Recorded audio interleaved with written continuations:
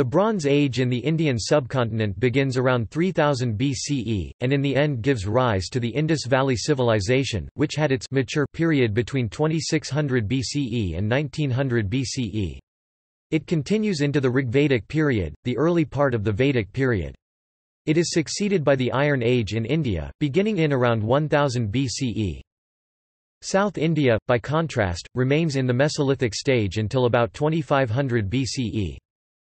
In the second millennium BCE, there may have been cultural contact between North and South India, even though South India skips a Bronze Age proper and enters the Iron Age from the Chalcolithic stage directly. In February 2006, a school teacher in the village of Sembian Kandiyur in Tamil Nadu discovered a stone celt with an inscription estimated to be up to 3,500 years old. Indian epigraphist Iravatham Mahadevan postulated that the writing was in Indus script and called the find, the greatest archaeological discovery of a century in Tamil Nadu.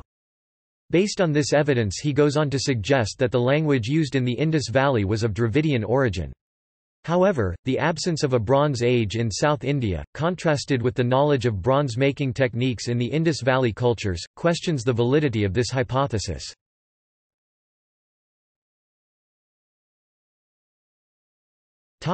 World timeline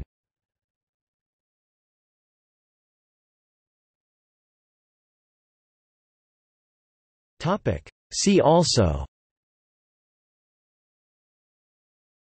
Periodization of the Indus Valley Civilization.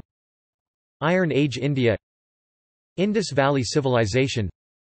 Indus script